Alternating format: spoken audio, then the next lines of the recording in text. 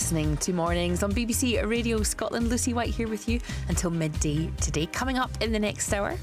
Right, Brian, question for you. Have you licked any rocks lately? Uh, yes, Which rocks did you lick? uh, a sandstone, a granite, and an igneous rock. Ahead of its 28th series, we speak to the co host of The Infinite Monkey Cage, Robin Ince, about how he made science funny and. You've seen the images on the television. Diana gave people what they needed. All over the world, in their thousands. And they adored her for it. Has the TV series The Crown been a blessing or a curse for the royal family? Plus, why are we seeing more pyrotechnics being used at Scottish football games despite them being illegal? All the conversations that matter. Mornings on BBC Radio Scotland.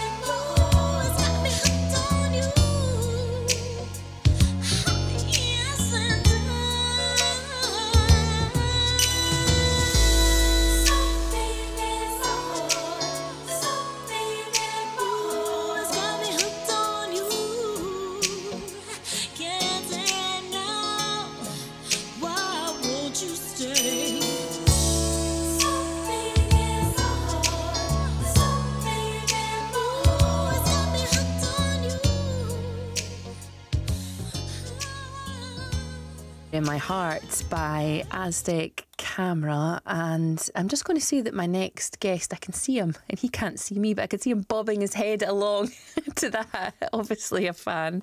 Um, yeah, we're talking to uh, Robin Ince, of course. Chatty trees, dinosaurs, space travel, super volcanoes, all topics up for discussion on one of the UK's longest running podcasts, The Infinite Monkey Cage. It's described as a look at science through the lens of comedy. The 28th series starts on Radio 4 this Sunday. Comedian, writer, host Robin Ince, as I say, after bobbing his head along there to Aztec Camera, joins me now. How are you? I'm very good. Actually, I shared uh, my 15 year old son and I. We we have a a shared playlist, and I put on five songs uh, every Monday, and he puts on five songs every Monday. So we kind of learn from each other. And I just put on an Aztec camera one the other day. So uh, that fantastic B side of uh, his cover of Jump, uh, the the uh, Yeah. very very slow version of a a very very loud and fast rock hit. One of the classics, of course. And oh, your- hang on, I'm doing your job now. No. I'm doing that. There we go. That was a classic song there from Aztec Camera. I do apologise. No, that's no problem at all. More than welcome to do it. I wonder what does he make of what you pop on the playlist, and do you like what he puts on yours? Yeah, I mean, it's really interesting. Yeah, I love it. Like Mac DeMarco, who I knew nothing about, which was kind of what reminded me of Aztec Camera, and then MF Doom, the rapper who I knew nothing about, he puts that on, and uh, and then I I share, you know, sometimes new bands, uh, Goat Girl, and and things like that. And uh, yeah, he's he's reached that stage of really being into music, and of course now we don't have that generational divide uh, Yeah. because I think that when I was growing up, it was like kind of what's this awful music? It's not anything like Gilbert and Sullivan, is it? Whereas now we go, oh, I like this awful music you're playing, child. It's very similar to Iggy Pop or whatever it might be. Yeah, that's true, isn't it? It's not like, what's that noise? Anyway, Yeah. as much as I'd like to chat to you about music, and I'm sure we can get back to it again, you're here talking about long, one of the UK's longest running podcasts, and in an era of a plethora of podcasts. That's quite a quite an accolade to have, Robin. Well, we're very lucky because the subject that Brian Cox and I have got is the universe. It's really hard to run out of stuff because we can deal with everything in the known universe. And then when we run out of tho- those ideas, we deal with conjecture of the possibilities uh, in the unknown universe. So it's uh, every single time we, we've never been short in terms of coming up with subjects. And then the joy of, of doing that show. I love, by the way, that you said it was uh, science looked through the lens, uh, uh, comedy uh, being used to look through Yeah. science. Whereas I'm sure Brian Cox would say that it was physics with interruptions. uh, um, but it is, yeah, it's it's just been such a joy to do. And we always, we never end any episode in, in terms of, you know, we sit down beforehand, we come up with a, a kind of idea of what an arc will be for the show. And then someone says something interesting about what they do in their introduction. And so we never, quite often, don't really get to question one. So Yes. any subject, we always end by the show by chatting to all the, the experts and saying, "Yeah, we better do this again because we've we've hardly dealt with octopuses or AI or black holes at all." Well, as you can probably tell by the way I started chatting to you, I completely sympathise with with that, Robin. Uh, How how did it begin in the first place? Because it's quite an unusual concept. Well, it started off about 2005, 2006. I uh, started doing shows where because I loved science, but I, I'm not I'm not very knowledgeable on science, and I had that normal thing that I think many people have that somewhere in the secondary school world, science is no longer the fun that it was when it was the No. nature table at school. Yeah. And I thought, how can I get people like me who were slightly alienated from it back into it? So I put on shows where I'd have kind of well known comedians and musicians, and then I'd just sneak in a theoretical physicist or a geneticist on the bill. And people would go, oh, We didn't come here for physics. And then afterwards they go, Oh, that was quite good, wasn't it? I enjoyed that. And so it was just sneaking in the science. And then I ended up doing a pilot with Brian Cox just as a guest on it. I wasn't one of the presenters. And uh, our producer, Sash, realised that the show that I'd appeared on didn't work, but that Brian and I kind of did. So Yeah. it was all, you know, like evolution. It was lots of errors that can sometimes lead to uh, useful things. And were you friends beforehand, or it just ended up? No, not really. We knew each other, and he I'd got him along to do one of my gigs where I was mixing up kind of comedy and music and science. But but we weren't friends. We we just you know it was a working relationship very much at, at, at the start. But we did get on. I think we were both so interested in trying to. It was just before he became the famous physicist Brian Cox. Yeah. Um, just before the first Wonders of the Solar System series, and so of course that also then grew with him, and he he became the you know the big face of of of uh, of science, and uh, so yeah, it, but it was all just most of it was pretty accidental, and then we we kind of worked away at the BBC to try and turn it into the show we wanted it to be, and by about the third series, it kind of was, which was a very discursive. We always wanted it to be right from the start. We said we wanted to be more like a podcast than the kind of tr- what had previously been the traditional Radio Yeah. 4 shows because uh, the science is often dealt with in that way of kind of, hello, welcome to science. Today we're going to be talking about the uh, science of Galileo with uh, three elderly men, all of whom know a lot about Galileo, but are very, very bored and old. And, you know, and it's this thing which is dealt with it with very kind of, you know, careful hands.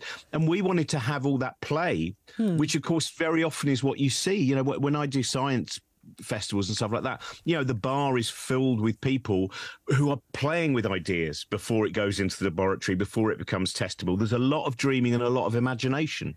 Yeah, and that's I guess you, you know you talked about the, the school idea of science that, that many of us and that was quite familiar for me what you were saying there is it's it's quite sanitized you, you learn about the what of science but not necessarily the why and it's the why that's exciting isn't it Exactly. I mean, I think that the, the, I, I talk to so many science teachers who get so frustrated with, certainly in England and Wales. I'm not so sure about Scotland, so I, I you know, I'd be, be hmm. careful on, on that. But who say, you know, there's so much that is you have to make sure a child knows this equation, Yeah. but not the time to explain why Einstein, when he was looking out the window one day, started to think of these things. You know, so it immediately becomes cold because it just looks like numbers and symbols. But those numbers and symbols are the results of imagination.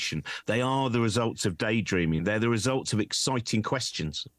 and what's the um th- this is probably a really difficult question for you to answer, so I'm sorry. But what's the most fascinating thing that you've learned just just in the course of, of doing the podcast?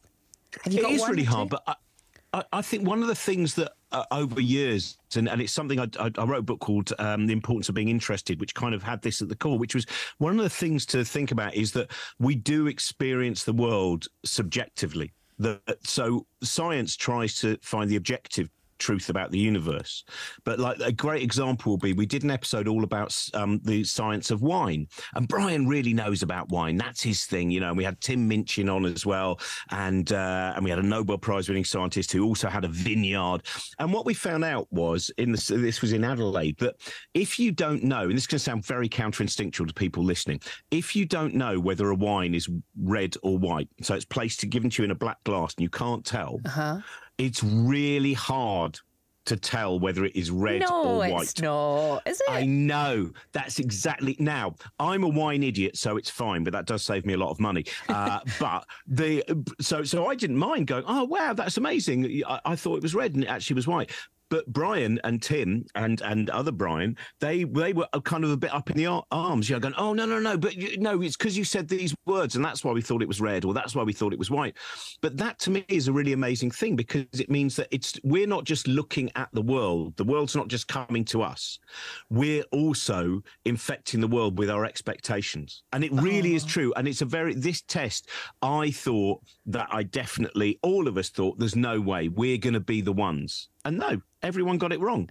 Well- and everyone found tastes in it. If they were given tasting notes that suggested we were drinking red wine, they would find the blackberries, they would find the fruitiness, they would find all of those things. I'm going to have to test this now, Robin, as I'm sure many people did. You have to do it very carefully. I mean, you, you have to make sure that you have no knowledge whatsoever. You Yeah. have to kind of that. That's the thing. The moment this is the great thing. The moment you have a little germ of knowledge, then already that's affecting how it's- you're experiencing the Yeah, world. like if the bottle's cold in your hand or something, then it might give you. a- Yeah. Oh, so you're not allowed to be anywhere near any of these things. Someone Yeah. has to do all the pouring. They have to make sure the glass does not give away any of the colours of the wine. And uh, yeah. You might be the only one, though. You might have the very special palate, and then you'll leave radio long behind and live in a world of fine wines and champagnes. Come on, sommelier. I, I think that's probably not going to happen to me, but you never know, Robin. It could be it could be this moment right now that it happens. Um, series twenty eight. Then you got lots of very, very, very loyal listeners. What can they expect in this in this latest series? Any any anything else about Well- wine? Anything else interesting like that? The the one that is you'll find out something quite rude about the octopus, which is uh, in episode one.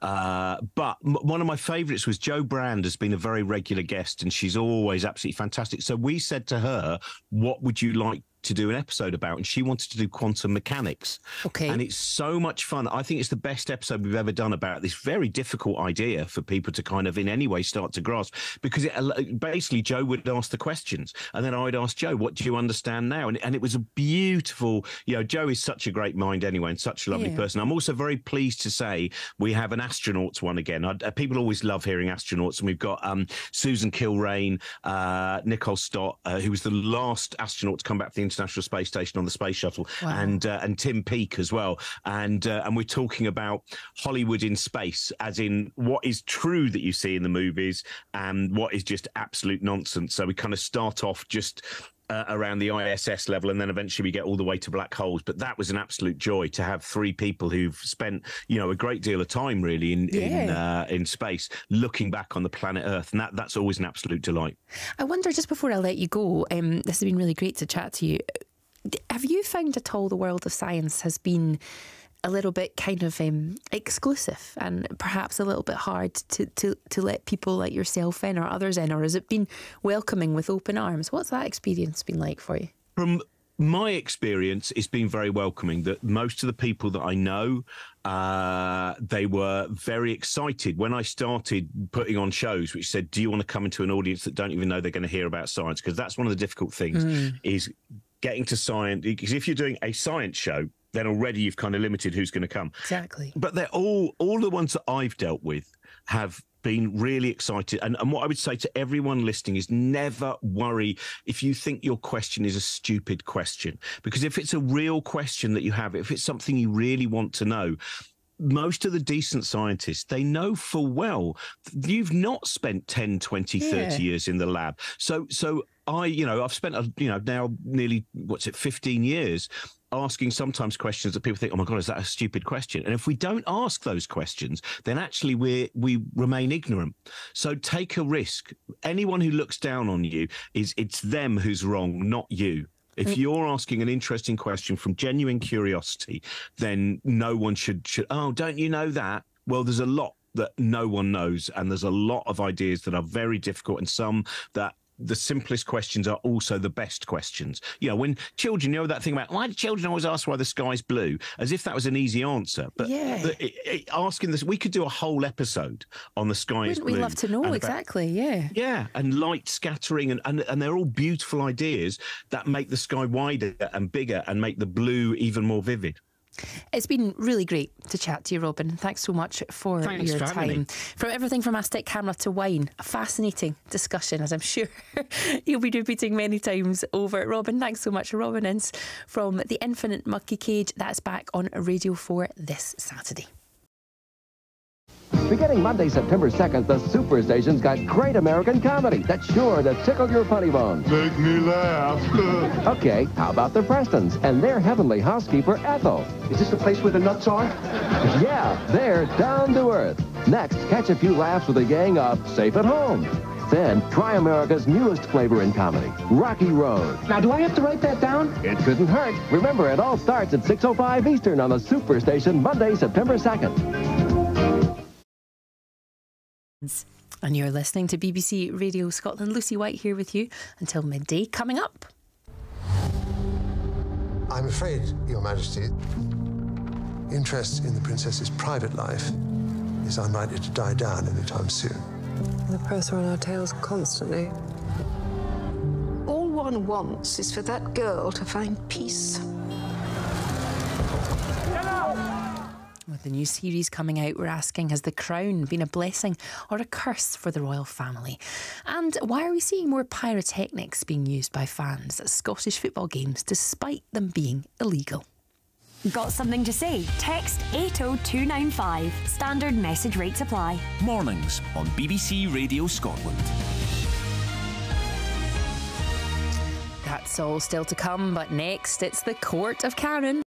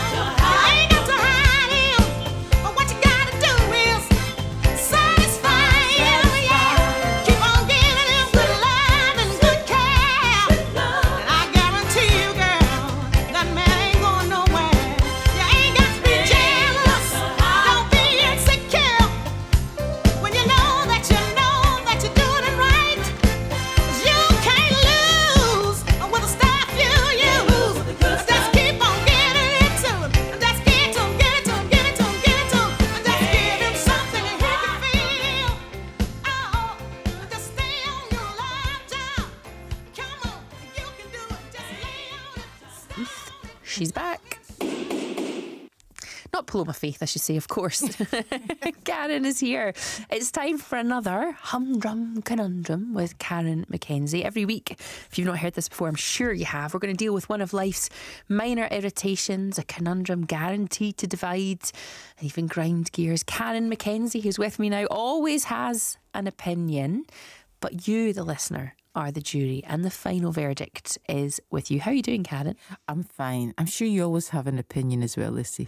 Yeah, but it's I'll my drag job, that out of you my job towards the not end. to let you know. Although this one's a really good one this week. It is a good one, and I'll not ask you which side you're on. But do you have a, an opinion, a strong opinion, one mm, side? I think I could be swayed either way. Well, funnily enough, before we speak to Jojo, I was completely on one side, and then this has happened before.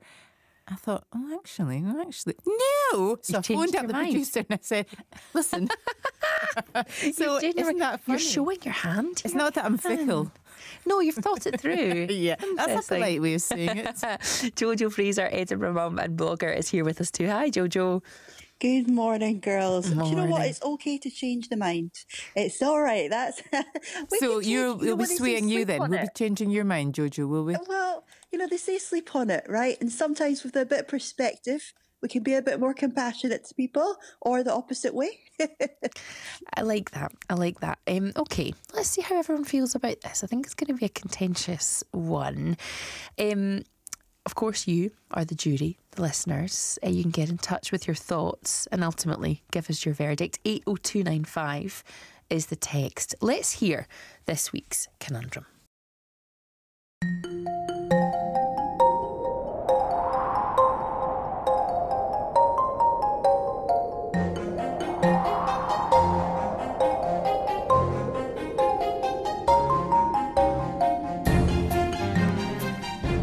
My best friends got married at the weekend, and I was absolutely delighted for her. But After initially having no problem with children being at the wedding, my friend informed me only a couple of weeks before the big day that I couldn't bring my eight month son along. I was really upset about this. I'd been pregnant when the wedding invitation came, so it's not like me having a baby would have been a shock. I haven't spent a day apart from my son since he was born, so it's not like I could just leave him with a friend for the night like I could if he was a bit older. After thinking about it, I realised I had two options not to go to the wedding at all, or ignore her request and bring my son along. And that's what I did. I brought him with me. I could tell my friend wasn't happy with me, but I guess she had other things to think about, so she never mentioned it. I feel guilty, but I had a great time, and bar a few crying fits, I don't think my son caused any issues. Was I wrong to bring him?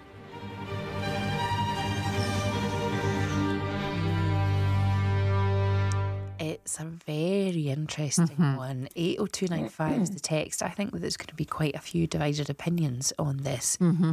Recapping, essentially, this lady brought her eight month old baby to a wedding. Mm-hmm. Initially, there was no problem with the baby coming. Mm-hmm. And then two weeks beforehand, actually, I don't want you to bring your kids to a wedding. Karen, what do you think? Well, as I say, initially I was thinking, no, it's her day. You cannot do this. You can't bring children. Um, in, you know, it's kind of their choice. And then I thought, two weeks' notice? Are you mad? That's completely unrealistic to try. And if you lived locally and you had other friends, then it's a possibility. But no, she said, I think somewhere that she had travel plans. So this woman is coming from a distance. That probably means she's got accommodation. And um, yeah, two weeks short notice. No way I'd be taking. So I think she's fair enough to take the child. And I think maybe what I would say is sit at the back. I don't know where, you know, what kind of a ceremony it's all in the one place or whatever. Sit at the back and, like the way she said, crying fits. Yeah. okay, well, don't let the screaming kind of interrupt everything else. But sit at the back, then just take the child out. And the same sort of when you're eating, just remove the baby until it calms down, then come back in again. So I just, I mean, normally, as I say, I would say, no, it's not on. But two weeks' notice, that's when you thought, oh, come on. You know, what's that about? I do wonder though if anyone's ever planned a wedding, as I'm sure lots of people have, that you can get quite stressful and maybe it does take until two weeks before the event to think, ah, I, I just can't handle there being in But you know that your friends, I mean, very often, I'm not generalising. A lot of women get married sort of in their 30s, Mm. early 30s, and a lot of their friends, peers, are probably just having children, thinking Yeah. about it then. So there's a good chance that a lot of her peers have are having babies, have babies or whatever. Um, so eh, really, it's kind of, I think, it's on your, your sort of horizon, you know what I mean? And Jojo. your radar. Jojo, what do you think? Yeah, the two weeks' notice really made me angry. It's brutal. I think a family member, I've seen this all too often with weddings, right? A family member interferes, like a parent or something. Like I've been asked to sing at weddings, and then last minute, oh, the parent didn't like the music or the type, or there's a client coming to the wedding, they don't think, or, you know, walk my little girl down the aisle, oh, my mum didn't think that would be appropriate. What if she cries?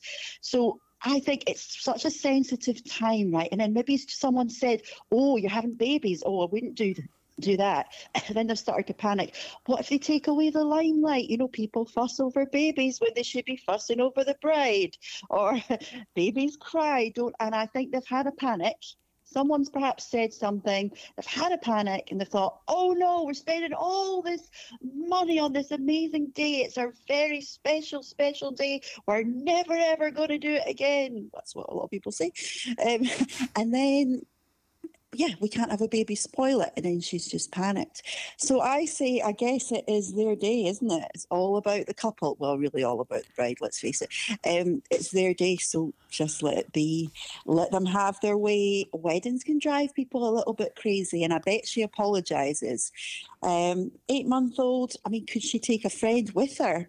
I would be asking those questions. They're best friends, right? So best friends should have a bit of priority. I'm not okay. So right. for whatever reason you don't want my eight month old, can I bring a friend with me and then maybe you can, you know, they can chill out in the hotel or whatever, and I can pop in and out see the baby. I don't know if she's breastfeeding, didn't mention that, um, but just pop in and see the baby.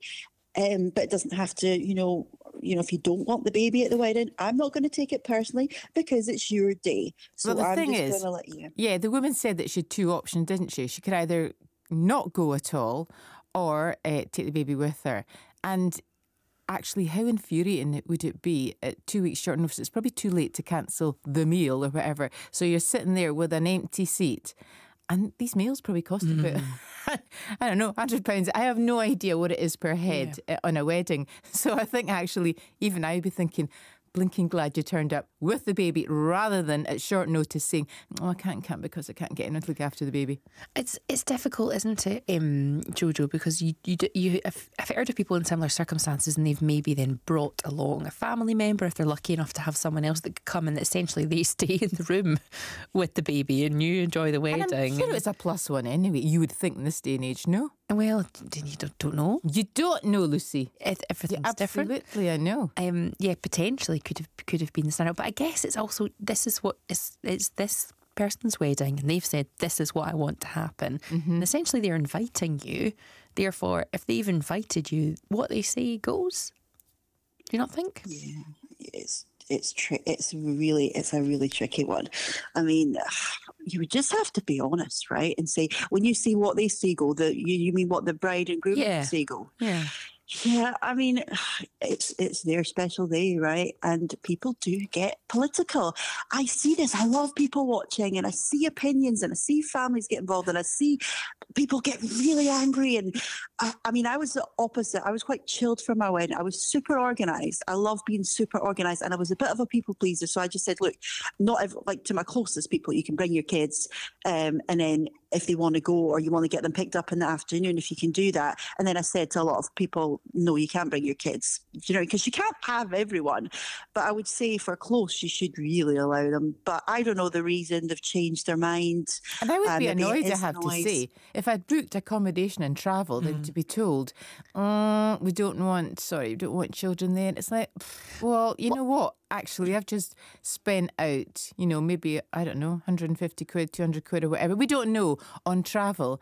And actually, I think it's just a bit selfish. Guess what's missing from this is why why in the two weeks Communication. they didn't communicate. I know. Pick up the phone and say, right, would you prefer an empty seat or would you prefer me, to come with the, the yeah. baby? Maybe the, Yeah. Maybe the she wanted her too to have a better time. Like you do hear people No, say, that's I not don't about with the weddings and guest. kids. You Oh. know what I mean? Because then she can really let her hair down.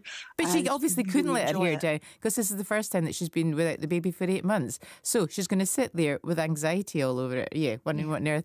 Is- Told you this yeah. was going to be divisive. We're going to wrap it up for now, though. I Um, do think personally you should let your kids have. You shouldn't like by eight months. You should have at least had a night if you can. But that's a different Um, conundrum. Yeah, that's a, that's a whole other one for another day. Um, listen, Jojo, thanks so much. Karen, it's now out of your hands, though, unfortunately, and it's in the hands of the listeners. 80295, Texas. Let me just sum all of that up for you really quickly. My friend uninvited my eight month old baby from her wedding. Was I in the wrong for ignoring her and bringing my baby with me. Mm-hmm. 80295. What is your verdict on all of this? Karen will be back after 11 o'clock to tell us the answer. And in just a minute, we're going to talk about the latest season of The Crown.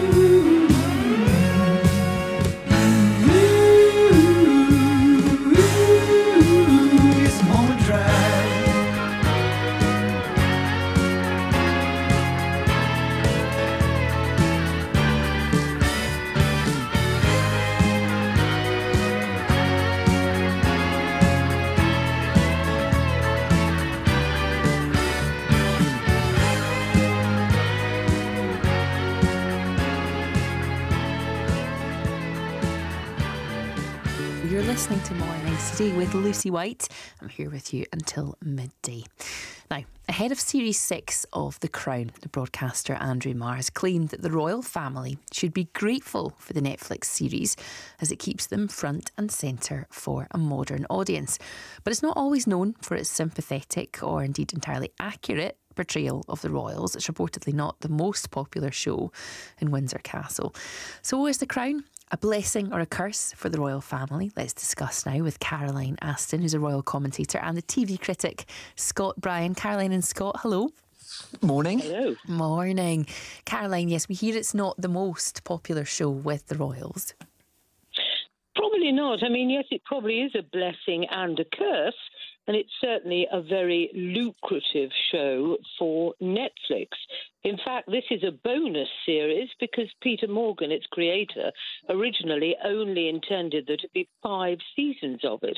And it's only latterly that it's come with a kind of a viewer's health warning, pointing out that there are fictionalized aspects here as well as the historic basis. In other words, that classic cocktail of faction, as you might like to call it, but set, I think, for a huge viewership. And Andrew Marr, well, do the Royals really need any help in uh, turning public attention on them? They seem to have had quite a lot of that lately without the crown. I guess he would be making the point, as well as others might make, is that it's about um, capturing perhaps different audiences that that wouldn't be feeling that the royal family are, are quite as relevant now. It's re- retelling their story, although parts of it, you know, are are are fiction. Scott, what do you think of the Crown? I mean, it's a really interesting one, isn't it? Because it is a bit of an enigma. Because a lot of this show is based on conversations that we, um, you know, will never know because they happen behind closed doors. So um, these are interpretations of events, essentially, that are, of course, dramatized. Um, but there's the backdrop of events that are really real. I think what's really been interesting over the course of the last few years has been the kind of the warm like the the the sense of controversy the more closer it gets to recent events because as each season Mm. looks at a certain decade i think when it started looking in the post-war era where it was looking into the relationships um, between um, prince philip and and the late queen um, looking at um, supposed relationship trouble then it didn't feel that problematic because of course, they would be able to remember it when they were alive, but it was very far off. Now, of course, with what has been reported to be taking place in the next, uh, the, the most recent series, we're looking into um, uh, Princess Diana, her sub- subsequent death, and the implications and the reeling for the, not only the family but also the whole country. So I think it's the fact that it's a lot fresher in everyone's minds, and also particularly in, in, in the minds of members of the royal family who might be still feeling the consequences of that to to this day. I think the the the the other sort of on the other hand, though, we are never going to see a statement from the royal family about the crown. We're never going to be having any royal family members on the record talking about how they might feel. You might have maybe a off the cuff comment or, or something from um, Prince Harry on a TV program, and I think he's made a comment um, here or two before. But generally, it's going to be up for the viewers to make up their own mind about whether they feel these storylines, uh, fiction or non-fiction, is is suitable or not, whether it's too intrusive or not, and whether it's in the public interest or not. Margaret, it's an interesting point that Scott makes there about as we as we get more into recent recent events or certainly closer events now than, than initially the Crown was dealing with, and it's spanned a long period of time since it first started. Why the need seems to be a bit greater to point out the the fact from the fiction. Well, I, I suppose it's the classic tacky or tasteless question. Only the public will judge that. But very interesting that you mentioned Prince Harry's potential response to this. He continues, as he told us not too long ago in his memoir, uh, Spare, to wrestle with his mental health issues, many of which, of course, go right back to the sudden tragic death of his mother. But ironically, of course, he takes the bucks from Netflix too. So he finds himself perhaps in rather a, a cleft stick over this going forward. It will undoubtedly make lots of money, but I would also say the timing of all this is very interesting. Two tranches being released, uh, one coming up November the 16th, and then, of course, again in December. But slap bang in the middle of this is Omid Scobie's book Endgame, with its rather threatening title, which threatens to throw yet more word grenades at the reputation of the royal family. It's all kind of slotting together, and certainly a lot of attention will be focused on the royals, who, as you rightly say, never complain and never explain. Caroline, what do you think about the way that um, that they are portrayed, though? Because some of them, you know, I'm thinking particularly the, the Queen, they are portrayed in a way that the audiences uh, have liked them, and they're pretty sympathetic characters. Well, of course, you've had several actresses playing the Queen mm. as she ages through history. And an actor interprets, we've had that word used already this morning, interpretation. They provide a picture of the character that they're playing based on their own research and, of course, on the content of the script. But because there's interpretation, we get the actor's impression of the person and perhaps what's at the very heart of the living, breathing human being. And there's the problem. You can so very easily influence public opinion by the way a character is acted out. And therein, perhaps, lies a bit of a danger for the royal family if perhaps some of the words, the lines written for them, and the way they're delivered tend to perhaps give a rather unfavourable impression, particularly when it comes at times perhaps to being hard hearted, lacking in understanding. Perhaps a bit stodgy around the edges. It's really a bit of a minefield for both scriptwriter and actors. And Scott, it's hugely popular, isn't it? The Crown, you know, we think with audiences. I mean, it certainly is. I mean, uh, Netflix um, have only revealed their viewing figures fairly recently for a lot of their major shows, um, but The Crown has always been out there as being one of the most popular programs, definitely within Britain too. I mean, I think internationally, you you are having a mass appeal about it because I normally find, bizarrely, the further you are away from the royal family, particularly when you're in America, the bigger they they somehow appeal. Mm. Uh, appear because it's the one thing as a Brit you get asked about whenever you're traveling Yeah. abroad.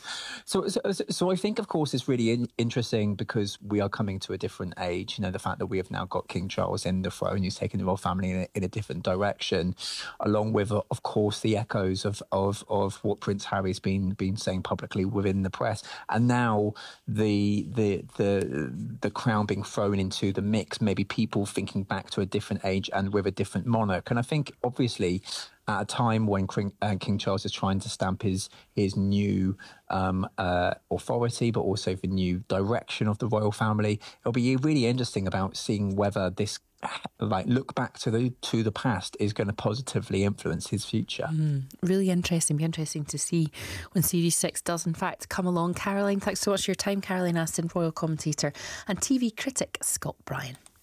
The weekend. The next Saturday Nightmares offers you a mystical experience when a young girl's disappearance is linked to the supernatural in The Premonition. And a nun's unholy past may prevent her from taking her final vow on the Alfred Hitchcock Hour. Then on Night Flight, Blondie's Debbie Harry and Pat Benatar star in Union City, a love story set against a New Jersey steel town. It all starts Saturday at 8 p.m. Eastern, 5 Pacific on USA. You're listening to Mornings with Lucy White on BBC Radio Scotland. Still to come. My friend uninvited my eight month old baby from her wedding. Was I in the wrong for ignoring her and bringing my baby with me anyway? Yeah, that's the Court of Karen conundrum this week. We were discussing it just a few minutes ago. What do you think? You can get your thoughts into us by texting 80295. And we're going to be talking about how we close the parenting gap. Get in touch with BBC Radio Scotland. You can call our free phone number on 08085 92 95 00. Text 80295. Standard message rates apply. This is BBC Radio Scotland.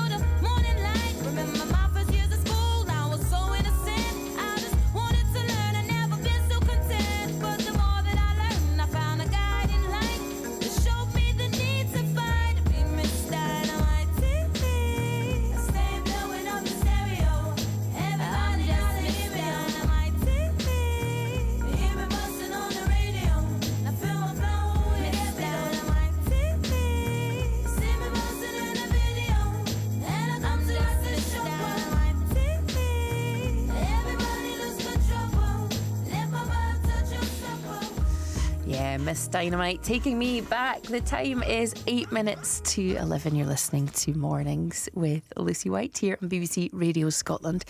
And football authorities are meeting in Scotland today to discuss the increased use of pyrotechnics in stadiums. It comes after a major display at a Rangers Dundee game last week, and there were also pyros seen at Hampden during the League Cup semi finals at the weekend, too. So, why are we seeing their use in Scottish football despite them being illegal, and what, if anything, should be done about it? Joining me with this in the studio is Matthew Lindsay, who's chief football writer for the Herald, and also on the line is Andy Smith, who's chair of the Scottish Football Supporters Association. Matthew and Andy, hello there. Morning.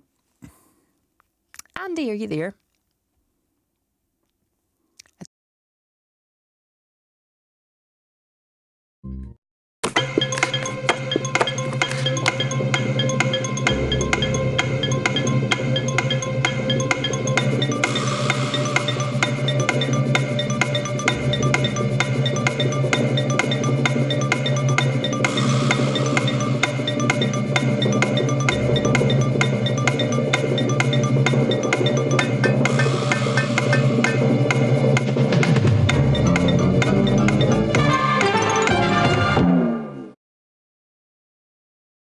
We've got Andy right now. So, Andy, are you there?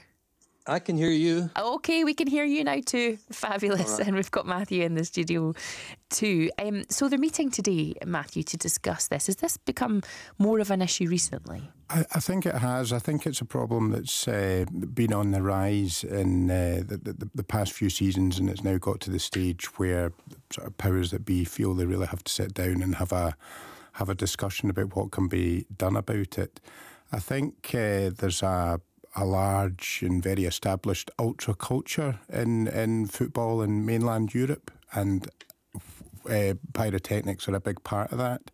I think that has crept into Scottish football increasingly in, in recent seasons, and uh, I think you know we've seen like like in the, the, the Dundee against Rangers game last week, we've seen uh, situations which are a little bit out of control, and obviously the the SPFL and police and the, the, the Scottish Government feel that now is the time to sit down and, and have a serious discussion about what can be done. It's probably worth explaining to people what ultra actually means. What does that mean? I think it's just a hardcore element of a football support. I mean, you'll you'll get people, families, and and you know OAPs and people that want to go along and watch their, their team play football. I think the the younger crowd, the, the, the sort of hardcore element, the, the, the, the, the group that go and chant and sing songs and and uh, produce tifos. Um, I think that's probably how you define ultras. Okay. Um, Andy, what do you make of, of all of this then, this increased conversation now in, uh, around about pyrotechnics and Scottish football? I think we've been aware for months because there's a growing problem where lots of fans, not the ones who are um, pretending to be more important than everybody else, but lots of fans are scared. We've had fans getting told to leave their seats because the ultras or the the in crowd want it. We've had fans who are basically been threatened on buses. The weaker fans are being scared by the kind of anger that's been in the probably in, in the UK and in the game since um, since COVID. It's getting worse. Um, and absolutely right. What's just been said. But the biggest problem of all is football does nothing about it because it has its own quite outrageous, not very legal self get out clause where they've written the rules that basically say if we tick our own self agreed boxes, then whatever our fans do above that isn't our fault because we've done what we meant to do. Clubs have got a role in this, and I'm glad they're meeting today. There's no fans at that meeting. There's no discussions at that meeting with anyone apart from the people who have previously made the rules that don't work. And um, that disturbs me because it's not a summit unless it's open. It's not a summit unless there's real discussion. And while they've got this ridiculous get out clause that it's not the club's fault because it's always somebody else's fault, well, Police Scotland can blame the clubs, clubs can blame Police Scotland, the government can blame each other, and nothing will happen. Well, we've got fans right now that want something to happen because it's really not acceptable. And we have had a statement, first of all, from Police Scotland saying we continue to be clear that football clubs have responsibility to encourage their fans to act safely and responsibly, and also from the SPFL saying new Scottish Government legislation expressly forbids the use of pyros at football matches, given their extremely high temperatures when lit and the huge amount of smoke they can produce. These devices are not designed for crowded environments. They say they're working with Police Scotland, Scottish Government, and experts and our um, clubs to address this issue. Matthew, there is um, there is a, a culture where, where pyrotechnics are used in other places. I'm thinking about, you know, in the US and I think also Denmark as well. And it's it's seen as a kind of safe pyro zone. Is something like that being considered potentially? A, a lot of people feel that that's the way to address this issue. Um, and the, the, the issue is that it's impossible to stop pyrotechnics getting into stadiums. The police and clubs can do nothing about it. Um, they're they're too difficult to detect. The crowds are too large. Um, they're too small. Mm. They're too uh, readily available. They're too accessible. And then once they get them inside the grounds, they they can't stop them setting them off, and they can't intervene once they have set set them off because of safety issues. Yeah. So a lot of people feel that safe pyro, safe pyrotechnic sections is the way to address that. Um, Norway is a country where they've really gone down that road, and there's a lot of clubs, not all the clubs, a lot of clubs have safe pyrotechnic sections where uh, specially trained fans can set off specially selected pyrotechnic devices at uh, arranged times if they have received the permission from the club and the, the police and the fire services. Andy, we're going to have to wrap this up shortly, but what, what do you think of that? What do you think fans would, would make of that in general? Let's. Uh, we've done research on this. We're the only people who have, mm. and this is over a year ago. Less than forty percent of fans think safe pyros are acceptable, which means sixty percent don't. The answer to this is strict liability. Clubs sign up to it in Europe. They accept responsibility for their fans in Europe. They refuse to do it in Scotland because they know that it will come at a cost. The answer is strict liability, which starts just like if you drive the road at 100 mm. miles today, you'll get a ticket. If you drive it again, you're going to lose your licence. Okay. That's what has to come. Andy, thanks very much for your time. Andy Smith, Chair of the Scottish Football Supporters Association, and also Matthew Lindsay, Chief Football Writer for The Herald. Thanks very much.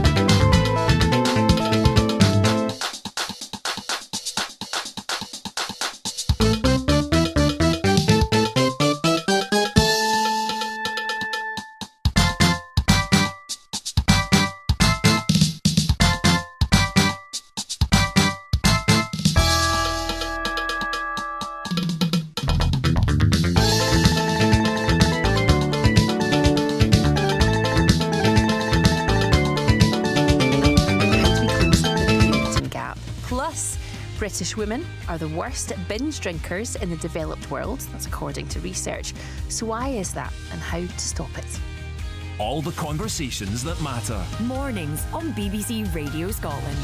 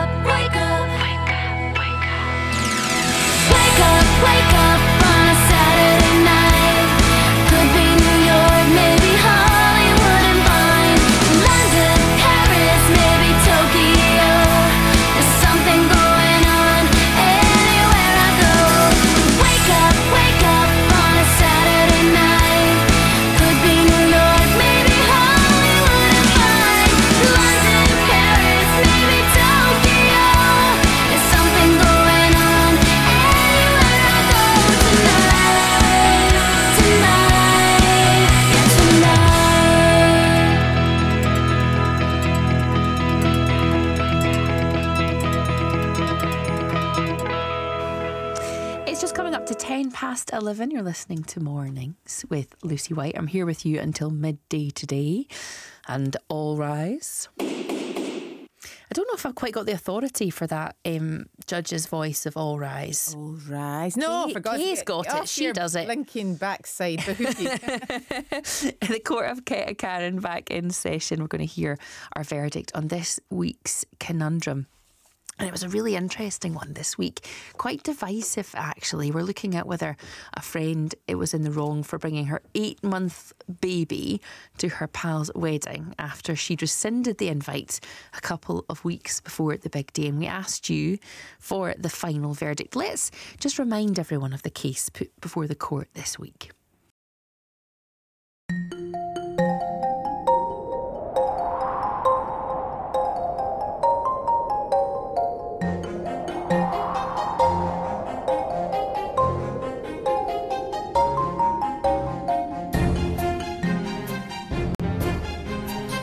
My best friends got married at the weekend, and I was absolutely delighted for her. But after initially having no problem with children being at the wedding, my friend informed me only a couple of weeks before the big day that I couldn't bring my eight month son along. I was really upset about this. I'd been pregnant when the wedding invitation came, so it's not like me having a baby would have been a shock. I haven't spent a day apart from my son since he was born, so it's not like I could just leave him with a friend for the night like I could if he was a bit older. After thinking about it, I realised I had two options not to go to the wedding at all, or ignore her request and bring my son along. And that's what I did.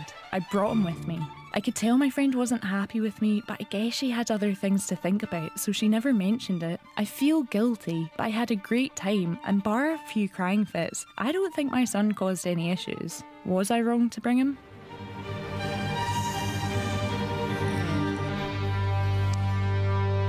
Debated this, didn't we, before 11 o'clock? Um, mm, tricky one. What do you, people saying, Can? I'm laughing at Ian. Uh, bawling babies and folk with bad coughs echoing like a sirens and cannon fire around the church walls.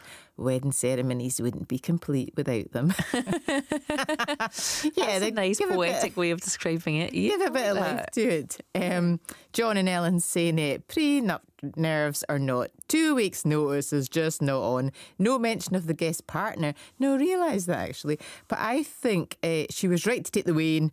My advice once invitations have been sent and accepted, there should be no changes. I think you're right, John. Once they've been sent. See, the problem is we don't actually know if specifically the baby had been invited because this person says there was no problem with the baby coming. I wonder if it could kind of been more of a softer invitation. No problem with the baby coming.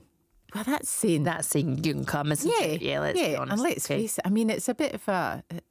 I mean, you can see it from the the bride's side as well, and you know maybe you do expect somebody, but if you're coming to an area and you don't have any friends or family. Yeah, I'm sorry, but I just think it's it's a bit rich. It comes back down to the two weeks' notice. So these are people that are agreeing with you. Is anyone disagreeing? Uh, oh no, the list is too long, so I'm not going to. uh, somebody anonymous is saying, uh, yes, this day was for the bride and groom. Uh, they wanted it to be adults only. If you couldn't accommodate this, you should have politely declined. I prefer, um, I personally prefer weddings with all the family, including children. However, it wasn't my wedding or yours. Now, somebody then just said, haha, I just realised I only heard the end of this one, didn't realise only two weeks' notice. I would have called the bride, you see, this makes sense, and explained any difficulties with the short notice. If she still insisted, no baby, I think the choice is no baby and attend or politely decline. Yeah, I wish we knew who you were, but yes, yes, yes, that's a good, that's a good one. Uh, Deb and Inverness is saying, my mum didn't want children at my wedding. Oh, my mum didn't want children at my wedding, but a lot of people were travelling far, so I organised a creche for the whole day. Oh God, not just to organise a wedding. Let's organise a creche as well. And That's also think about you. what your mum and your dad and everyone thinks. That's what the point that Jojo was making earlier, isn't it? That everyone's got an opinion My when mum it comes didn't to want wedding. I wonder if mum paid for it. Yeah, there's that as well, isn't there? That's a big part of it all. Yep, Fee's saying the guest list is the prerogative of the people getting married. If they say no children, then so be it. I agree with you, but sorry, that's just me that I did that. Um, you should feel honoured to be invited at all. Here's the thing the guest list says, but your baby's not sitting down at a seat eating the meal. They're sitting on your knee, aren't they? Yeah. Yeah, yeah. I don't I don't know. I, I change my mind every two minutes about this. Oh, you're more fickle than me then. I don't. And Liz in Helensburgh is saying, if they're such good friends, why couldn't you just talk to the bride, find out the reason why, and perhaps come up with a compromise? Liz, that's far too sensible. Uh, She should not have ignored the bride. Uh, it doesn't say much about their friendship. Yes, yes, yes, yes. So there we are. Yeah, what I do you do- think? Why, I- where does it come down on this? I think it's uh, even Stephen. Even Stephen. Plus, also, we would do that added thing and we would say next time just talk to each other. Aye. Is that too? Is that too? That doesn't nice get a conundrum, though, does it? we could end. We could Just end every let- single one by being let's just all talk to each other. Let's just ditch the item. let's just communicate. yeah, no, exactly. Communication with Karen doesn't have quite the same ring to it. Oh no, no, and it's it's compromise with Karen. That doesn't happen either. Compromise with Karen. I like that too. Listen, do you have the address, or if not, I'll, I'll read it out later. People can get in touch with you. No, No, I've I'll worked here since just about the day I was born, and I still don't know the address. Okay, well, I don't either because obviously I don't normally That's do this embarrassing, isn't it, that I don't But know I'm going to get my producer to send it to me right now. So everyone hold on. I'm going to tell them a little bit later in the program how they can get in touch if they have their own conundrums. As we've shown today, we're very good at sorting it out and coming down very firmly on one side or another. Yeah, get in with your own conundrums and I'll resolve your problems. That'll be right. I'd love to have a go at it though. Yeah, Karen, thanks so much as always, Karen McKenzie. The BBC Radio Scotland Young Classical Musician 2024 is a brand new award. It's the chance for us all to celebrate the next generation of up and coming classical musicians. If you're an instrumentalist, this could be the opportunity you've been waiting for to take the next step in your career. You could win this prestigious title along with a recording session which will air on Radio Scotland and Radio 3. If you are aged between 18 and 24 on December the 17th, 2023, then you have until the end of that day to enter. For more information, terms, privacy notice, and to apply, head to bbc.co.uk slash youngclassical. Z100, I'm the Shadow, afternoon DJ here at Walt Disney World. And you can be here too and choose what you want to do with the Z100 Walt Disney World Vacation. From boating and biking to dining and dancing, pirates and parrots, to robots and rivers, sliding and swimming, to golfing and goofy, camping and canoeing, to riding and rolling. You'll fly Eastern, the official airline of Walt Disney World. So listen to Z100, check out the daily news, or visit one of these locations and you may win a plenty to do vacation from Z100. Now, still to come before at 12 o'clock, we are going to be talking flat tummies. And is the pursuit of one in vain? Is it in fact a myth? We're going to be talking about that and also about the parenting gap between mums and dads and the gender parenting gap in general. It is reducing, but it's still not totally closed. That's all to come before midday. Get in touch with BBC Radio Scotland. You can call our free phone number on 08085 92 95 00. Text 80295. Standard message rates apply. This is BBC Radio Scotland.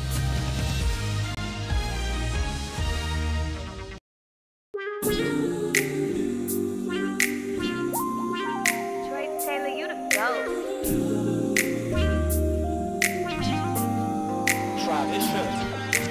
Nothing feels better than to know you, and nothing's more important than to show you that nothing comes close to what the vibe is. Nothing's more exciting than the time spent with you. No one but you can love me true. How you love me when you love me, and you tell me everything is gonna be alright.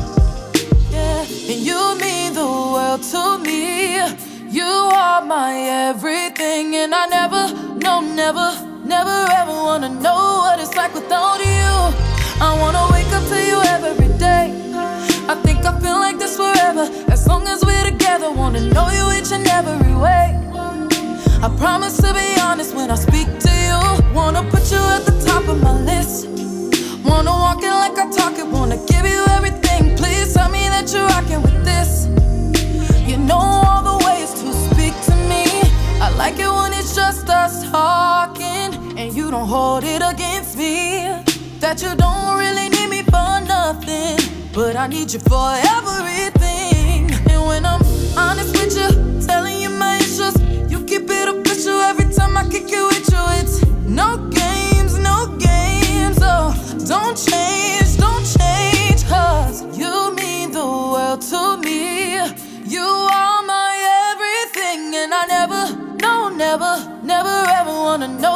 it's like without you. I wanna wake up to you every day. I think I feel like this forever, as long as we're together. Wanna know you each and every way. I promise to be honest when I speak to you. Wanna put you at the top of my list. Wanna walk it like I talk it, wanna give you everything. Please tell me that you're rocking with this. You know all the ways to speak to me. When you speak, when you speak to me, I promise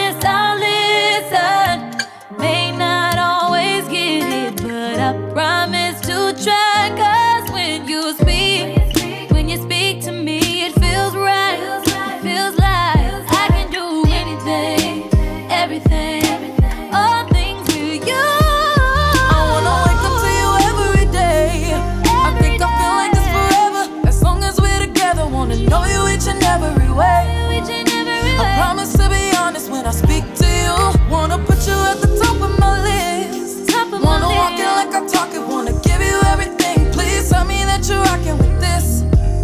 You know all the ways to speak to me. Here, 20 past 11. Lucy White with you here until midday today. We're going to talk tummies now because despite the progress that's been made when it comes to body diversity, you don't actually have to look that far to find images and messaging, both on and offline, encouraging, us even to beat the bloat and strive for that elusive flat tummy. People bloat for a variety of different reasons, but is it ever possible to have a flat stomach? And is that actually realistic or healthy? Let's debunk some of those myths and set the record straight with GP Nick Dunn and dietitian Jane Tobias. Nick and Jane, thanks for coming on. Thanks Morning, for having us. Morning. So, yeah, I see this all the time. Beat the bloat. Um, you know, supplements that, that can help pre- prevent bloating. Nick, what? Let's go. Let's get into the nitty gritty here. What is Yeah. bloating? I mean, essentially, bloating's a, a, a kind of normal symptom from time to time for everybody, um, and it's, what it represents is that there's a build-up of gas in the bowel as we digest our food, and it passes through the bowel and out the other end, really. Um, and so, for most people, from time to time, they will get some bloating, and that'll come and go. It becomes a bit of a problem when it becomes more frequent, um, and that can be associated with diet, it can be associated with lots of fizzy drinks or constipation, um, and often people don't realise that we can get something called functional constipation, where the bowel is just going a bit slower than usual um, and it's not completely constipated. Um, and then what happens is you get a build-up of really kind of waste matter or sort of fecal matter in the bowel that's fermenting and producing gas, and then that causes that build-up of gas, and it can be a little bit uncomfortable because it increases the pressure across the bowel wall, um, and sometimes um, when it's a regular thing, can cause small outpouchings in the bowel, which are called diverticulae um, and it causes a, a very common um, condition called diverticular disease, um, which in itself um, isn't a problem until you can develop a bit of infection and inflammation in the diverticulae, causing diverticulitis. So, um, bloating in general is not something that you should worry about if it's intermittent, but if it's something that's persistent and lasting for maybe three weeks or longer, then particularly in postmenopausal women, then th- at that point we would be thinking about you know ruling out ovarian cancer because ovarian cancer can be associated with large swollen ovaries, um, and that's something that obviously we, we don't want to miss, um, and it presents in a very insidious way. Okay, Jane, how much is, you know, Nick mentioned diet there. How much does that play a part in all of this? Well, probably a lot more than we realise actually, because there's so many foods that we uh, we find more people are intolerant to than they used to be. And one of the big baddies, I think, is a lot of people say is wheat products. So pastas and things. And some people that I see will find that they're more bloated towards the end of the day when they've eaten certain, you know, starches and th- such like. Um, there's also other kinds of causes which have been mentioned, but there are some of these um, foods that we have, like for example, in seaweed, that can make us bloat because we can't digest them very well in our guts, we do have, as we probably know, good bacteria and some not so good ones. And they do tend to do that work of the fermenting that Nick mentioned of the foods that we can't manage. So sometimes that can cause more bloating. And for example, if I buy, you know, that's that drink that's, um, I think it's called miso soup and it's got some seaweed in it, I can't digest that well and I get quite bloated with it. So I try and avoid it. So there are some, some of these uh, starches that are sort of in the middle of range. They're not long, big, enormous starches, but they're not small ones either. And that the, the bacteria like them. So if we have good balance of bacteria in our gut, then it will actually help us digest and reduce that bloating as well as other causes. Is any of this being fixed by a, a, a special tea or a supplement that's been sold to us all or, or online? Well, I mean, we do. I always encourage people to check that they are taking something fermented in their diet. So we tend to uh, forget that these are really good foods and they contain active uh, bacteria that are fermenting. So, like yogurts, yeah, yeah, yogurts and probiotics, particularly, but also get advice about them. Don't just go ahead and take them yourselves. Yeah. But you know, if you have foods that are naturally fermenting, they will actually help produce, uh, help with the natural bacteria in your gut, and they'll help support all that digestive process. Um, because it's m- many ma- multifactorial digestion, and you know there are some foods we just can't digest. You know, some genetic foods like lactose, for example, some people just can't digest it, and it does cause a lot of wind and and other kinds of bloating. Yeah, Nick, what should people do if they are concerned? You said if it was a, if it was Yeah. happening for a couple of weeks. I guess it's also knowing what what's normal for you, isn't it? That's what it- Exactly. You know, so I think the, the first thing would be if it's persistent. You know, so if you're regularly feeling bloated every day for three weeks or longer, then that would be a reason for contacting your local GP practice and going along and, and at least speaking to your GP and getting examined. Because at the end of the day, you know, most people don't have much in-depth medical knowledge, despite the fact that there's lots of information online. Some days it's quite hard to make sense of all of that. So if you're not sure and it's a persistent problem, then it's best to go along and, and see your GP, who can then examine you, um, talk about your symptoms, decide whether any blood tests or scans would be required, um, and then take things from there. Um, but often um, it turns out that people who feel bloated, sometimes it's just that they've put on weight and they don't realise it, um, Hmm. or, or in fact that you know their their diet isn't great. Because actually, you know, this is probably a problem associated with you know processed foods. We don't tend to find. I mentioned diverticular disease earlier. That that's not been a problem in um, in for example African countries um, up until the past 10, 20 years when processed foods have been introduced. So there's something about our diets that doesn't really naturally contain enough roughage, and also you know that we don't really um, be active enough or drink enough fluids through the day um, to keep our bowels moving. But yeah, certainly if you have symptoms that are lasting for three weeks or longer, um, and like I say, particularly postmenopausal women, then that would be important to go along and see your doctor um, and just make sure that there's nothing else that might be underlying that. And Jane, I know you mentioned fermented Hmm. foods. Is there anything else people could be eating or drinking that could be helping with it? Yeah, I mean, if somebody gets bloated, one of the first things I would suggest is just take some quite warm water, not boiling water, just sip it gently because that can actually help relieve quite a lot. Um, also, you know, if you have got any bloating, you can do something very simple like just put a hot water bottle, one of these beanie bags that heat up, just to give yourself. And there's also a way of massaging your stomach as well in an anti-clockwise fashion, so that you can actually help your gut your gut work a bit better. But uh, you know, anything that is gentle, even ginger, ginger tea, uh, fresh ginger grated into tea, or frozen ginger grated into tea, is also really natural antispasmodic, and that would really help um, with bloating too. And I think it's just it's what Nick was saying: is being mindful about what we're eating and making sure that we're also not eating too much, because sometimes we take too much food in and our stomach does get overloaded. We need 20 minutes for the brain to register how full our stomachs are. So if we eat too quickly, we can also bring gas in too. So all these things can um, contribute to any kind of bloating. Um, and hopefully, you know, helping people with these gentle teas and so forth can actually help um, without having any heavy hitting medicines and so forth. And um, I just wanted to ask you, you, men- you mentioned this, Nick, and it's probably quite important to point out how do you tell the difference between bloating and just weight gain? Well, I mean, I suppose weight gain is, is it stays there, doesn't it? It doesn't come and go. Is the is the principal thing really? Um, and usually, if you put weight around on on around your stomach, you're probably going to be putting weight around the rest of your body as well. So um, you might find that sort of rings are tighter on your fingers and that kind of thing.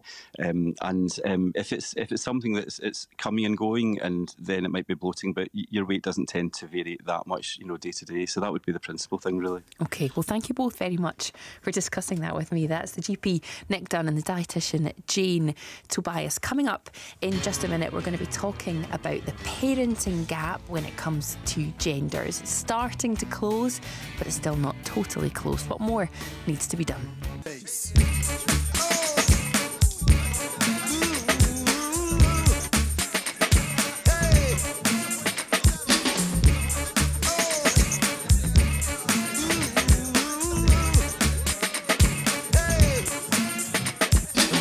From miles around to check out the sound. Watch the walls come tumbling down. Kid and plays the perfect team. Now it's time to let off some steam. Don't be bashful now. Don't be shy. This ain't no time for you to wonder why. You're not on the floor with someone else. Don't blame us, blame yourself. If you ain't got the guts to get with it, the time is now, dude. Just admit this is the perfect situation to take a chance in. Cause this is the house that we dance in.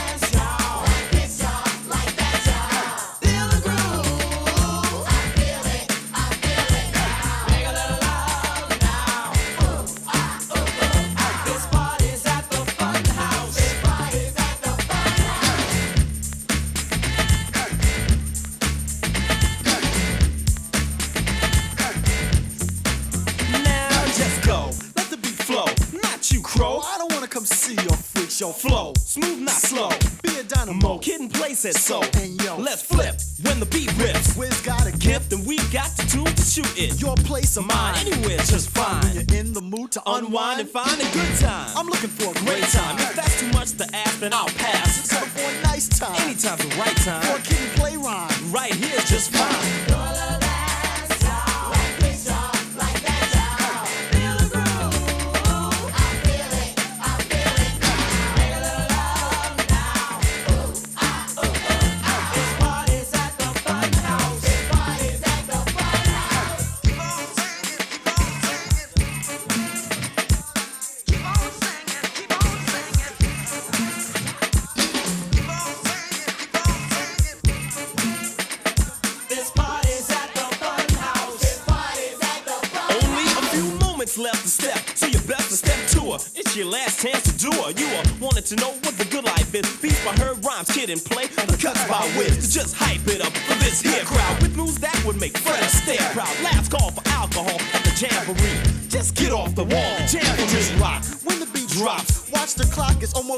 Close up shop,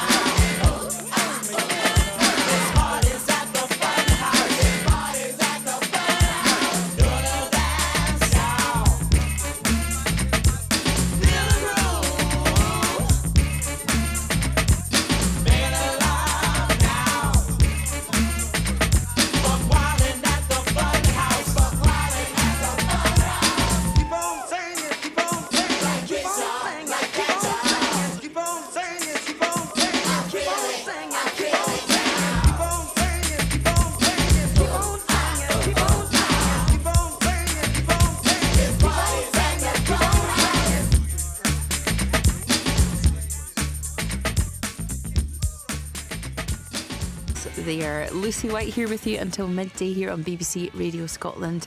And then Barry and Haley take over with Lunchtime Live. What have you got today, Barry?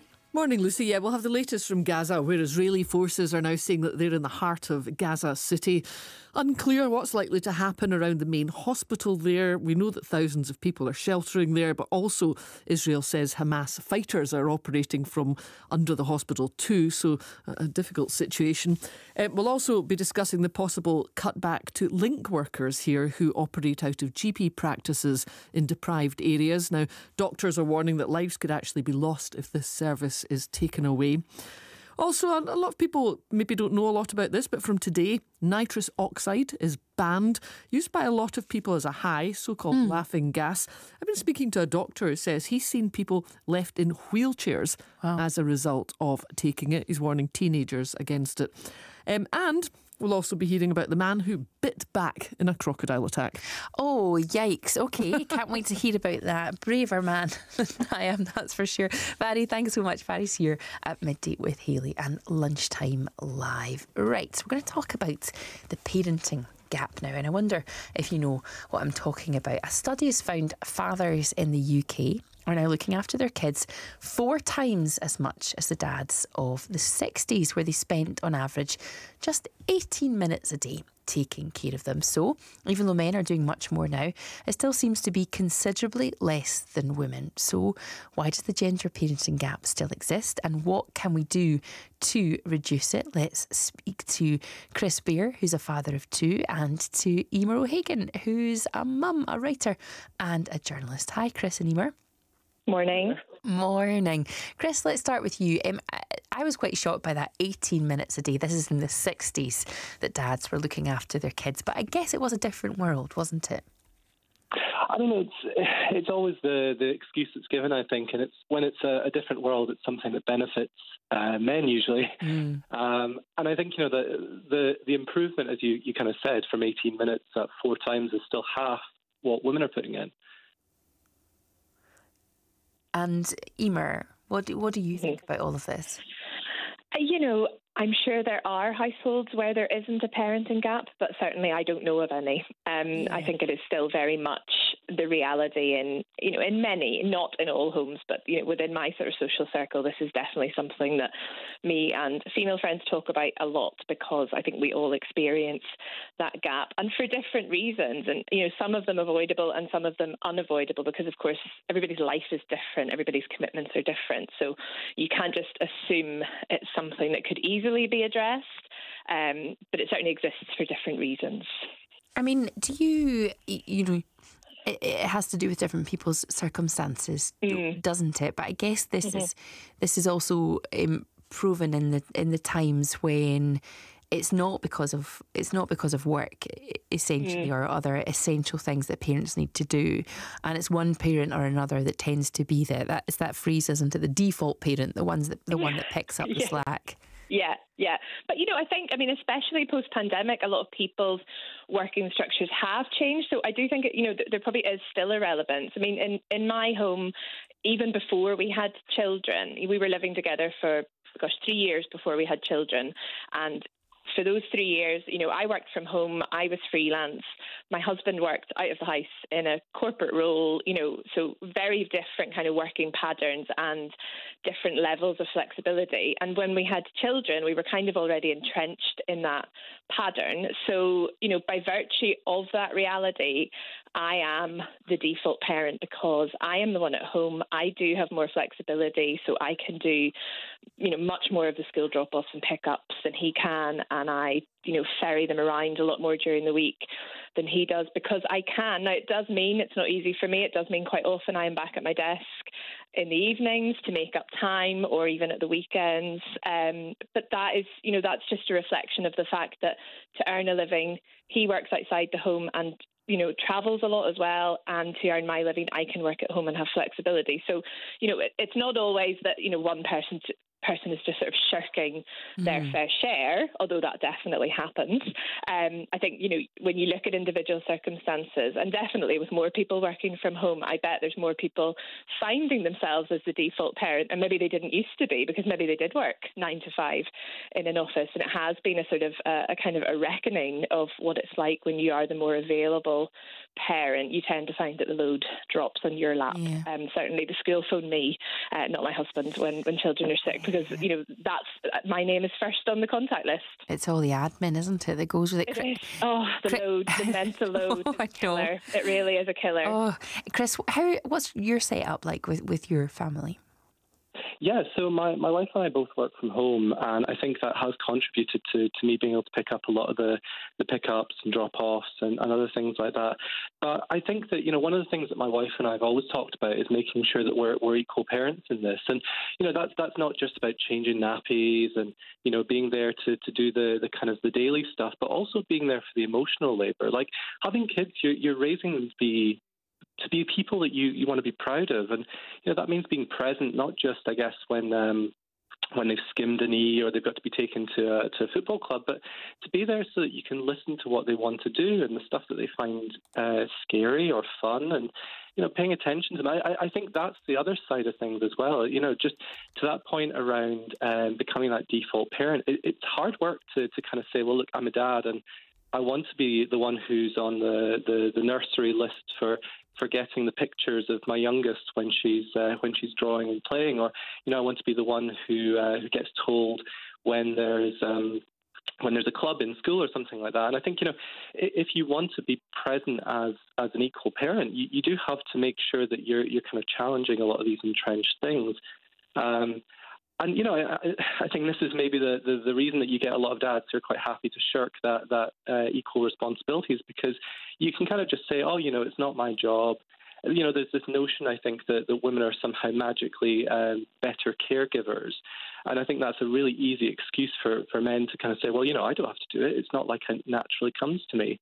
And I do think, you know, as a parent, you have to accept that like your life has changed and you have to put in hard work. You have to be there, um, which means you know fighting against these these entrenched uh, gender systems. It's really interesting, isn't it? Let's speak to somebody who can um, talk to us about how this might be affecting um, relationships. Dr. Pam Spurr, relationship expert and, and psychologist. Um, Dr. Pam, this can be a real pinch point, can't it, for couples? Oh, of course it can. It's one of the most major causes for, you know, disharmony in relationships. And as I always say to people, what you're striving for is harmony between you two and what works for one couple when it comes to dividing up the workload or you know how they co-parent it will be very different to what another couple aims for. So I never want a couple who think, oh, well, actually, we fall in very traditional gender roles and we're happy with that. I don't want them to feel attacked. So it really is comes down to everybody working towards that harmonious uh, division of labor that works for them. And I'm, I'm really not surprised by the results of this survey because our behavior takes far longer to catch up with our mindset. So, people over the last 20 years have obviously, you know, gender issues, gender roles have been big news for years and years. And they talk about these things, but it doesn't mean that you're, you, you know, you talk the talk, but do you walk the walk? And that takes longer. And I'd like to point out how when someone says, like, I want to give up smoking or I want to lose weight. They start talking the talk, but it's very often way down the line before they make any of those changes. So it's way down the line before they actually stop smoking or do they actually start thinking about what they're eating and the ratio of that to exercise. So I'm not at all surprised that people are still thinking, well, you know, we talk about these things, but I still am. I'm doing. I'm walking the walk, like the woman saying. I'm doing more of it, you know. And again, that's when you have to talk to your partner and find how to find the path to harmony. It's interesting what you say there about that there will be those that, that this is just the way that it works for them and it's not feeling that that is wrong either. You know, Emer, it's a it's an mm-hmm. interesting take on it all, isn't it? Because you can become caught, can't you, between feeling like you need to justify your situation and mm-hmm. does everybody Yeah. feel this is fair and Yeah, so right. And I mean, Oh, sorry. You do have to, sorry, you do have to inject, you know, some pragmatism into it that different things will work for different people and different things aggravate different people. And, you know, Dr. Pam is completely correct that it's about finding your own, um, you know, sort of ha- happy place as a couple. Um, I think few of us are always there, and, and you know that is that is part of being a couple as well. Is that you're not always harmonious, and I suppose it's more important to be able to say to your partner, look. I am feeling, you know, completely overloaded with the admin of, you know, parenting or family life. You know, can you take something away from me? But equally, I think, you know, women are bad at asking for help because we are conditioned to believe that we need to cope and we need to be all things to all people, and mm. men are probably conditioned not to offer sometimes, you know, so it's not always about women having to ask for help because I think I am quite bad at delegating. Um, but equally, I think my husband and, and other men too, you know, it shouldn't necessarily be that they're told to do something and then they do it, um, which is what usually happens. And men then get praised for doing the thing that they were told to do. Um, men need to say more, look, there's too much on you.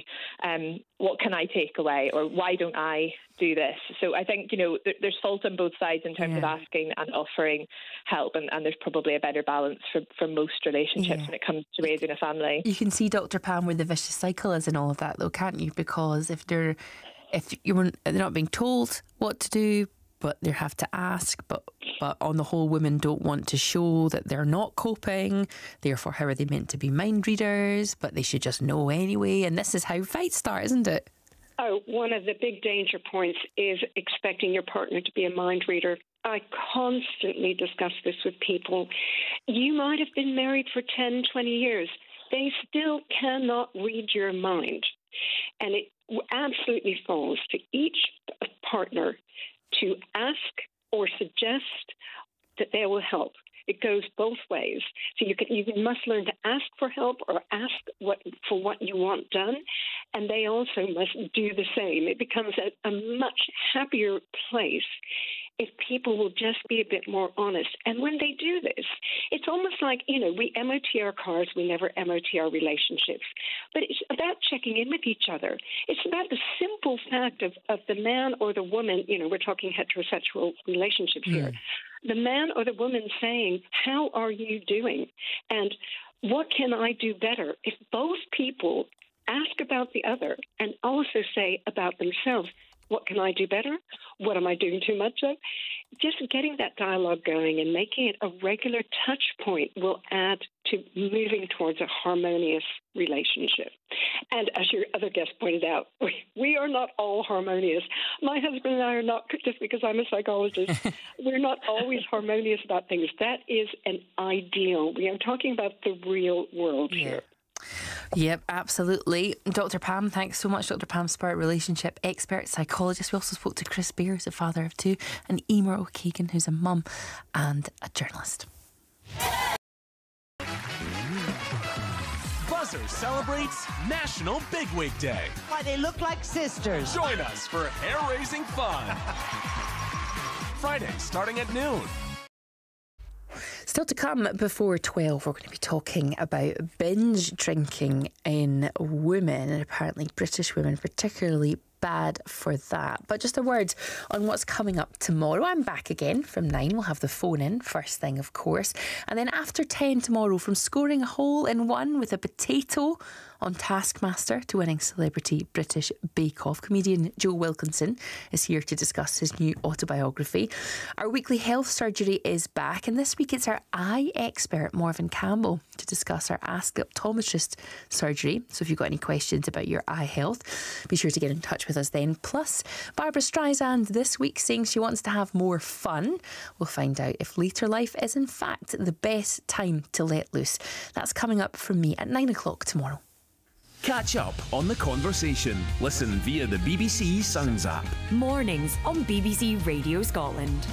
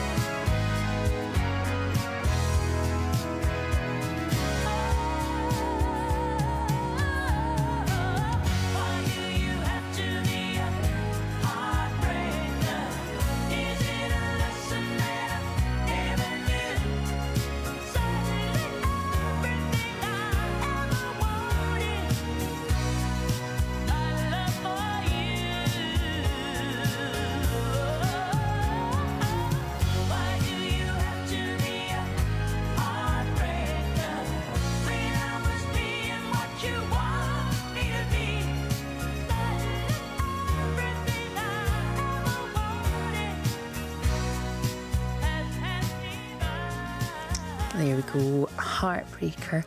The time now nine minutes to 12. I'm here until midday and then it's lunchtime live with Barry and Haley today. Now, it's not exactly breaking news that Britain has a huge drinking culture, but it might surprise you to hear that one report from the Organisation for Economic Cooperation and Development, that's of course the OECD, found British women were the biggest female binge, drinkers in the developed world. So, how do you know if you're a binge drinker and when does it become a problem? Let's speak to Sue Elliott Nicholls, who's an actress and a columnist. And we're welcoming back the GP, Nick Dunn, who was with us earlier, talking all Hi, about flat tummies. Hello there, Nick, and hi, Sue. Hi. Hello. Right. So, um, first of all, I just want to get both of your reactions to this um, report from the OECD that said British women were the biggest female binge drinkers in the developed world. Are you surprised by that, Sue? I'm not surprised in the least. I mean, when you go out and you see kind of groups of girls or groups of women in this country compared to other countries, we go at it, don't we? Much harder, I think. And I can't actually think of a time that I've gone out with my girlfriends in the evening. Uh, after kind of like past the yard arm, as they say, and not had a drink ever. Wow. Okay, that's quite something, I suppose. What, uh, Nick? What is binge drinking, and how do we know it's binge drinking? Binge drinking is something that people probably don't realise they're doing very often because it's actually not that many units in one sitting. For men, a binge would be eight units or more, and for women, it's actually only six units or more, which is about two thirds of a normal bottle of wine or two or three pints of beer. Um, so, in fact, binge drinking is definitely more common than people realise. And sometimes when we talk to people about their alcohol intake and point out to them actually that, that you are binge drinking, they're quite shocked to learn that. Yeah. Um, because frequently people will have, you know, that kind of amount of alcohol possibly every evening and still hold down very responsible jobs and op- operate very well and not realise that in fact the cumulative effect of alcohol on their bodies is quite significant, especially for women who are more at risk of developing what we call fatty liver and ulti- ultimately Yeah. cirrhosis of the liver, um, you know, with, with sort of long-term alcohol use. I was going to ask you about that because this study's obviously saying British women are the biggest female binge drinkers in the developed Uh-huh. world. Why is it different for men and women then? Why can men have more units that, than women can? Is it just to do with their body mass or what's going on there? Yeah, it's, it's not necessarily to do with body mass, but it's partly to do with that. Obviously, women have a different kind of composition of sort of fat versus protein um, versus um, other structures in the body. So um, they do tend to accumulate alcohol more, and how they metabolize alcohol seems to be different. Um, you know, there's very complex pathways surrounding that, but they do seem to have more of a preponderance to developing cirrhosis with alcohol than men might do. But there's other effects as well. Obviously, you know, alcohol affects their performance. It can make people feel quite tired and a bit blunted during the day. Obviously, it's got effects in mood as well and can be associated with depression and anxiety. And certainly, as a GP, when we have people coming in complaining of feeling stressed or anxious or low in mood, it's something that we always need to kind of investigate and ask people just exactly how much do you drink. And most people will say, well, I, I have a drink, but I don't actually drink that much. Um, but then when you ask them to be specific and tell them, say, well, let's let's think about what did you have yesterday or what did you have last week, and and tot it up. It's often a lot more than people realise. So it's a kind of hidden problem, really. I want to get into some strategies with how people can cut back with you, Nick, before we, before we stop. But Sue, you talked about you know going out with your friends, and it's just part of, of social culture, isn't it? And women women catching up quite frequently. It is. Have you has hmm. that has that changed at all for you over the years? Have you been drinking less? Have you been drinking more? Yeah, I mean that's so interesting what you what what you were saying because actually I feel like my body has as I've got older as a woman going through my menopause I now can't drink as much as I used to drink, and and I would say around about three quarters of a bottle of wine that's when I kind of know that it's time to stop, and I literally since I had the menopause I literally can't physically drink as much as I used to. It's almost like my body's made me stop. I mean, Does it make you start to feel lot- sick? Is that what kind yeah. of yeah? The last time I had a lot to drink, I lit. I was the next day. I was so ill, almost to my fingertips. Like every part of my body felt sick, and the only time I could equate that to was also when I found out that I was pregnant the first time. Was because I'd gone out, not had that much to drink, but was violently, violently sick. So I almost. Hmm. It's interesting you saying, you know, that that women can't take alcohol as, as much as men because I feel like hmm. it's been very, for me, it's been very kind of governed by my hormones. Not that I haven't wanted to, but I actually haven't been physically able to. And Nick, I said I would get into some strategies with you because we know that, aren't we? And certainly there's a conversation around people being sober curious and things like that or wanting to cut back. It, it- it's happening a lot more now. What can people do then if they are drinking too much? So I think the, the one sort of good strategy we often hear about people doing sober sober October and that kind of Mm. thing. So having having a break in your drinking pattern is really helpful because we develop a tolerance to alcohol quite quickly. Um, and so if you have a break with alcohol, then you will notice the effects of a few a few units See- of alcohol much more readily. See, Nick, if you if people can't quite fathom doing a whole month, if they did it for you know days at a time, Absolutely. they- So it's just about yeah, exactly. But having a break in your in your intake. So what you know, I was saying to a patient the other day, even just trying to introduce a few a few alcohol free days into your week, um, and it's giving your giving your body a bit of a break and giving you a sense as to how you might feel differently when you're not having a drink. And these are people who don't have addiction problems. These are people, like I say, who are Hmm. very successful in life and and they're, they're they're otherwise exercising and looking after their bodies. Um, but the signs would be, you know, if if you're feeling that you're not sleeping well or you're finding that the next day you're feeling a bit blunted or that your mood's not great, think about your alcohol. Look, add it up. Actually, work out the units because the trouble is once you've had a few drinks, let's face it, people stop counting and it's easy to lose track of that. Yeah. Um, and but alcohol-free days, maybe when you are drinking, you know, have a break and have some alcohol-free drinks in between times, um, and set yourself some limits before you go out because that's important too. And I suppose coming into the festive season in the next well, couple of months. well, exactly. We started this program with Christmas. Let's end it with Christmas.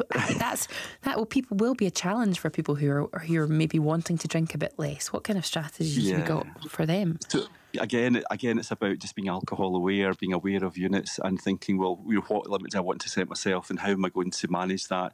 And, and it's often about interspersing some alcohol-free drinks and soft drinks in, in with alcohol, and and having alcohol-free days in the week as well, um, so that you can then allow your body to recover. And so you said you would have never gone out and, and not had a drink with your with your friends on a social occasion. Eh, and now you're saying you, you can't drink quite as much. Can you see yourself going out and having a, a few nights where you drink alcohol-free drinks or you don't drink quite as much over the festive season? Not really. Not when I'm No. going out. If I'm really honest, But I could. Um, I could very easily not drink when I'm at home. I feel Mm. like when you go out, I feel like it, it- you know it is part of the culture. I mean, I do have friends who don't drink for various reasons, and so if I'm with them out of respect for them, particularly if they're trying not to drink, they have kind of addiction issues, then I, I won't have a drink then because I just feel like I don't need one and I don't want to be the one that's drinking and you're not. But I feel like, um, yeah, I, I can't imagine myself going out with my friends hmm. and not having a drink, but I can imagine myself not having a drink when I'm at home, particularly at Christmas on those nights because you're out so much. Yeah. On those nights that you're in, just thinking, do you know what, I'm going to give my body a little It's break. like doing whatever you can, isn't it? Making the steps. Yeah. Really great, really great to chat to you both. Thank you both so much for coming on. That's Sue Elliott Nicholls, actress and columnist, and also the return of GP Nick Dunn, who joined us earlier to talk about flat tummies and finished off the programme with us there talking about Christmas as we started the programme today. Thank you all very much for your company. I'm back with you again from nine o'clock tomorrow. We'll have the phone in, of course, first thing, and then we're talking to the comedian Joe Wilkinson. We'll have our eye expert for the Ask the Optometrist surgery and lots more. For now, we'll hand you over to Lunchtime Live. Lucy, thank you. It's 12 o'clock. Our main stories this lunchtime. The G7 group.